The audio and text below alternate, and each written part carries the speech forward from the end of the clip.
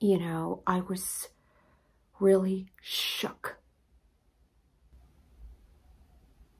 What have you girls been talking about? I just apologized to Kyle. I said some really unkind things and I vented and I wasn't taking into consideration that you're in a very sensitive spot right now. And I am so sorry. Um, you know, I, uh, I was really shook. Really shook. I had never seen anything like that. And you've never seen me like that. And I've certainly never seen you like that. Kathy, you really need to take a look at what happened.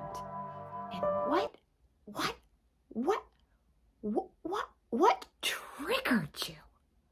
You really have to go look at what happened. What made you go to that place?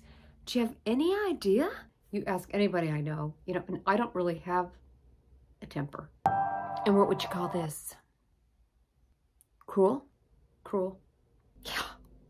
Can't do that to people, Kathy. And you can't do it to your sister, your beautiful, beautiful sister, Kyle. This one here, she's suffering. I don't want to say that you need help, Kathy, but you need help.